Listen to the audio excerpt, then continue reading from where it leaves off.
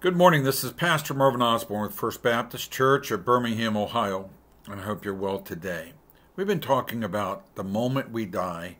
We said that uh, all of us have an appointment with death, and none of us know when that appointment is, but it behooves all of us to be about our Father's business because uh, as sand through an hourglass, so our lives are eventually going to run out.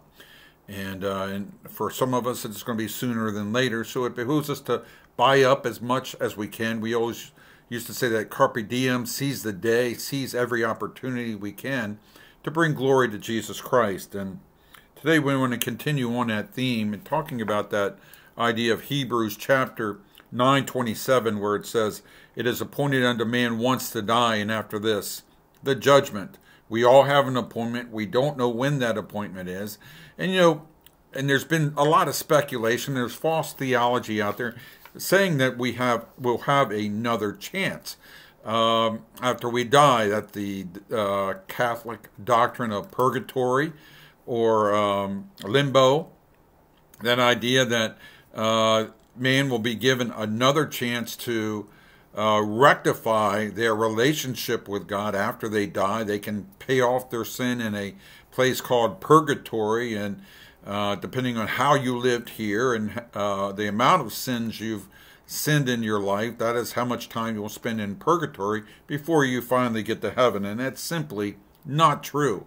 It says, For it is appointed unto man once to die, and after this the judgment. The judgment is, is if you've never trusted Christ as your Savior, you're going to stand before the great white throne of judgment, and you're going to be judged on how you've lived, and then you'll spend an eternity in eternal damnation. There is no purgatory. Now, if you're a believer, you'll stand at the uh, judgment seat of Christ for your reward as you enter into heaven.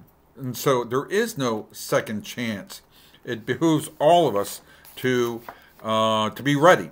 The the Jewish uh, community um, has a uh, has a saying. It says, uh, "Better to be one year early than to be ten minutes too late." Better to be one year too early than be ten minutes too late.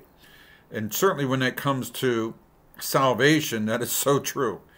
Uh, so many people want to put it off uh, receiving Christ. They believe that Jesus Christ is the Son of God, but they don't want to change.